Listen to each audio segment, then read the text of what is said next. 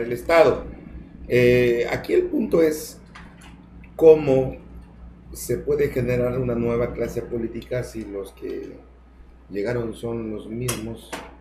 No, no, no son los mismos. Hay una triple transición acá. La transición generacional. Los que ya estamos de salida, estamos siendo suplidos por los que llegan, los jóvenes que llegan a hacer política y a aprender y a, y asumir las responsabilidades del Estado.